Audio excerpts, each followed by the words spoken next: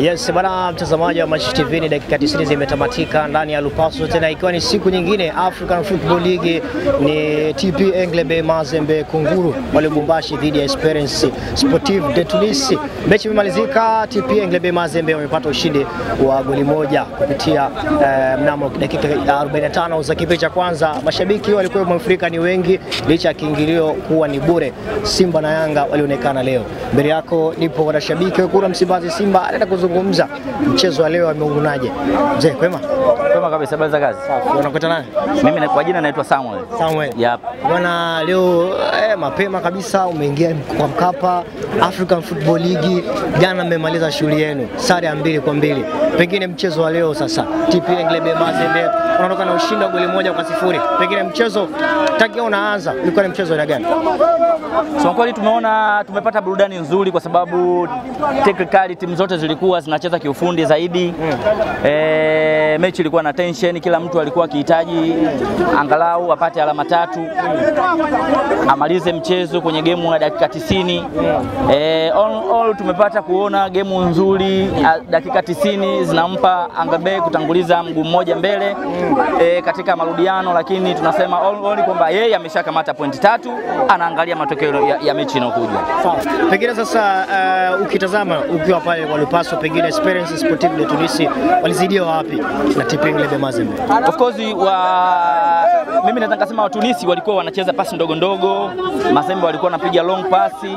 Na vile vile Mazembe we- kwenye beki back line yao kwenye midfield walikuwa wako quality sana kwa siku ya, li, siku ya leo, ila tu useme kwamba wale experience walikuwa wana kama hofu, muda mwingi walikuwa wana attack sana kuliko kushambulia, kama walikuwa wanaogopa vile kwamba hawa wanajua kabisa kulingana na umati uliojaa kwenye uwanja wa Lupaso leo walikuwa wanaisupport TV Mazembe.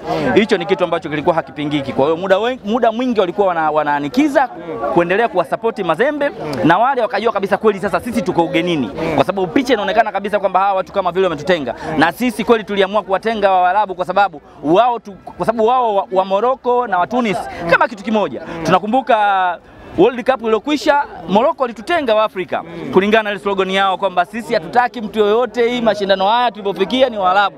Kwa hiyo na sisi tukaona tu, yaya, ya, tukaamua sisi tuwatenge tuwasapoti Mazembe kwamba ni, ni majirani zetu, tunashirikiana nao kwa kila kitu, ukizingatia sisi Simba na TP Mazembe tunakaasirika vinasaba. Kwa hiyo acha tuendelee kuwasapoti Mazembe, wamecheza mpira mzuri, japo kidogo dakika ya mwisho kidogo kama pumzi ilikata, lakini naamini kocha kuna kitu amejifundisha katika dakika 90 za kwanza kwenda kwenye dakika 90 za away, kwa hiyo na za, za, ugenini. Kwa hiyo naamini kabisa kuna kitu kocha ataenda kule-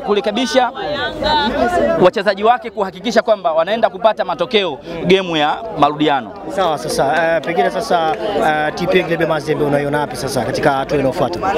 Of course kwa jinsi ambavyo nimeiona leo Mazembe mm. na ile iliyokuja kucheza na watani zangu Dar es Salaam Young Africans kwenye, kwenye kipindi cha, cha makundi mm. e, kombe la shirikisho yeah. imebadilika kwa asilimia chache kidogo, lakini nikiangalia sio ile ambayo imecheza na Yanga. Kwa hiyo kuna kitu wamekiongeza, na naamini katika mechi ukimwangalia, kuna striker mmoja hivi alikuwa ameweka rangi kichwani kidogo kama hana fitness ya, ina maana kwamba yule akizidisha mazoezi, kwa sababu ulikuwa kila akienda juu akigongana na mchezaji anakuwa iko chini, wakijaribu kukimbiza mpira muda mwingi kama vile energy kidogo ime- imekata. Kwa hiyo naamini kwa huu muda ambao wameingia kwenye tournament kuelekea mechi ya marudiano, kocha atawatengeneza vijana wake na kukaa kwenye, kwenye, kwenye, kwenye sehemu nzuri na kuweza kupata ushindi katika game. Naamini wakicheza kwa discipline, kwa sababu asili ya Waarabu wanapokuwa kwao huwa wanakuwa wana vitu vingi sana nje ya uwanja. Kwa hiyo ina maana kwa sababu TP Mazembe ni klabu kubwa ni klabu kubwa sana katika bara letu la Afrika.